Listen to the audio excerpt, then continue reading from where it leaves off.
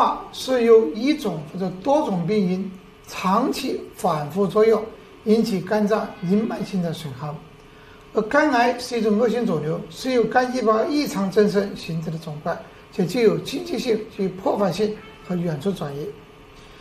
那么从组织上区分，肝硬化是具有广泛的变性坏死增生结节形成肝小叶的形成，到啊，由于结构的破坏，弹性逐渐变退而形成成肝硬化。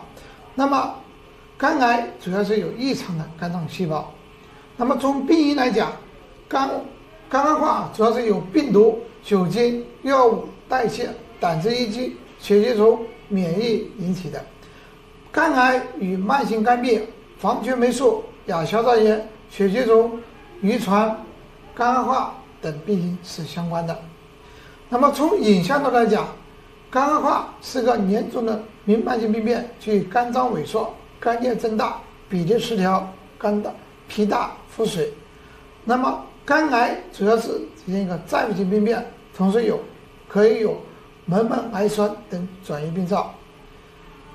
那么从检验的结果来讲，AFP 升高是相对的，啊，那么肝癌的病人，肝癌的 AFP 升高往往是大于一百五、一四百以上。临床表现，肝硬化以肝癌、门门高压并发等病，呃。为主，肝癌的病人主要是表现于进行性疼痛、黄疸、腹水、消瘦、莫抑制等表现。